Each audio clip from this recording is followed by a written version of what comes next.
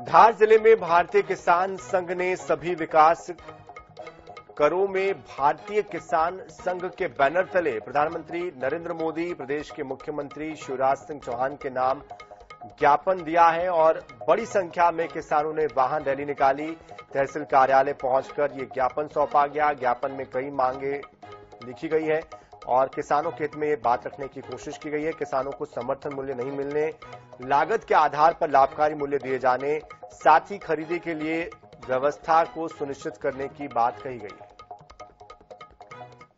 इनका ऐसा कहना भी है कि जो समर्थन मूल्य सरकार दे रही है, उसे न दिया जाए, उसका लाभकारी मूल्य इन्हें प्रदान किया जाए। कई मांगे इनकी थी आज इस विषय को लेकर, और इस वक्त हम धार ज़िले के गंधवानी के तहसील मुख्यालय पर मौजूद है। यहाँ पर कई किसान हैं जो इस रैली में शामिल हुए थे, उन्होंने यहाँ पर ज्ञापन का वाचन भी किया था। आप देख सकते हैं मेरे साथ जो किसान के लोग, किसान संघ के लोग हैं, वो यहाँ पर मौजूद हैं, और आज उन्होंने रैली निकालकर ज्ञापन दिवस के रूप में आज यहाँ पर ज्ञापन कुछ लोगों से हम जानते हैं क्या मांगे थी, क्या मांगे थी, मुख्य रूप से आपकी आज आज हमारी सबसे मुख्य मांग है केंद्र सरकार से कि लागत के आधार पर लाभकारी मूल्य दिया जावे। बीमा को खेत के ही खेत को ही इकाई माना जावे। ये हमारी महत्वपूर्ण केंद्र सरकार से के राज्य सरकार से हमारी ये बिजली का बहुत संकट चल रहा है। किसानों को दिन में दस घंटे बिजली दी जावे न कि रात में।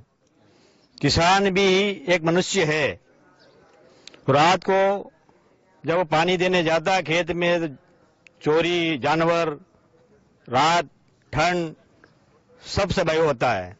इसलिए हम सरकार से मांग करते हैं कि 10 घंटे बिजली दिन में दी जाए और क्या मांगे हैं इसके अलावा आप लोगों की किसान संघ की ओर से दी गई है? वैसे यूरिया टाइम पे नहीं मिल पाता किसानों को समय पे यूरिया सुनिश्चित कराया जाए।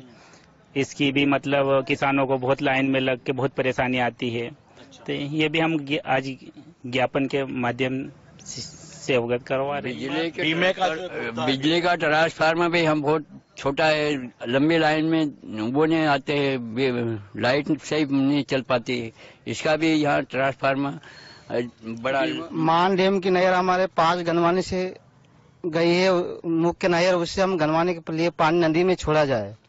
ये थे किसान संघ के गंधवानी के कई पदाधिकारी, जिन्होंने आज यहाँ पर गंधवानी तहसील मुख्यालय पर तहसीलदार महोदय के नाम से ज्ञापन प्रेषित किया है, जिसमें कई बातें इन्होंने रखी है। एक महत्वपूर्ण बात इन्होंने यहाँ पर रखी है कि इस वक्त जो धार का क्षेत्र है, जो गंधवानी और जो पूरा क्षेत्र मालवा निमाड़ का, यहाँ पर वर्षा की स्थिति कम हुई है। I S twenty four into seven channel के लिए कैमरा पर्सन धारेश्वर शर्मा साथ, लोकेश चौहान, गंधवानी धार।